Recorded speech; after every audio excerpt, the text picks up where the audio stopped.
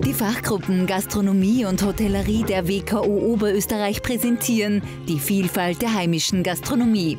Gastronomie, Hotellerie, das Richtige für mich.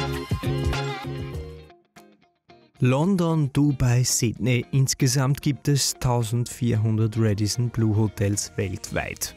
Eines davon mitten in Linz, seit 2009, das Park Inn am Hessenplatz. Park Inn ist grundsätzlich eine sehr junge Marke, spiegelt sie im Gästebild wieder. Äh, wir sind sehr international. Ein Drittel der Gäste kommt aus Österreich und Deutschland, der Rest aus der ganzen Welt. Das heißt von UK, Niederlande, Dänemark, USA, Australien, asiatischer Raum. Romana Gschwendner leitet das Hotel in der Linzer City.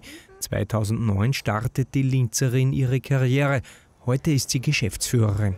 Ich habe ursprünglich an der Rezeption als Supervisor gestartet und jetzt mit 2022 habe ich die Leitung des Hauses übernehmen dürfen.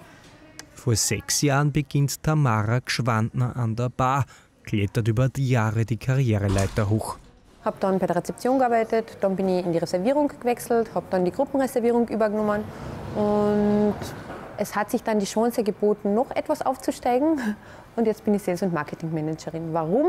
Einfach Hotellerie und Gastronomie ist so ein quer gefächertes Feld, also man kann sich wirklich was finden, was einem Spaß macht, definitiv. Auch in der Speisekarte findet man Internationales, Gerichte aus der ganzen Welt. Wir wechseln im Quartal einmal die Karte, dass immer irgendwas anderes da ist. Wir arbeiten mit Tagesgerichten.